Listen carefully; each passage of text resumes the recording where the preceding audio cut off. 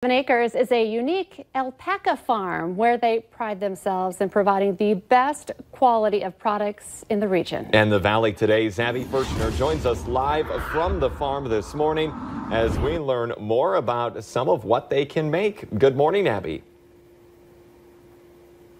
Well, good morning, Lisa and Jordan. I'm here with Jesse Munson, who's one of the owners of 107 Acres. And before we get into these fun products that you have, I have to know the unique story behind how you got the name for the farm. Yeah, so we always wanted the horses in the backyard, and our horses' registered names were 10 Carat Jewel and Spectrum 7, the 10 and the 7.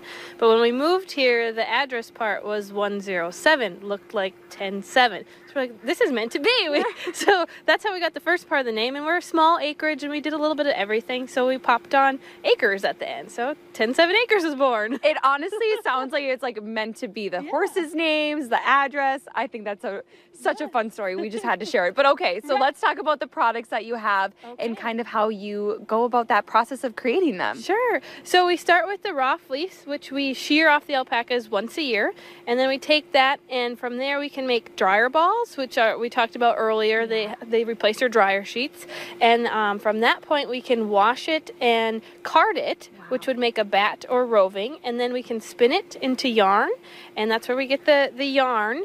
And then from yarn, you can make all kinds of things from hats to socks, mittens, scarves, sweaters.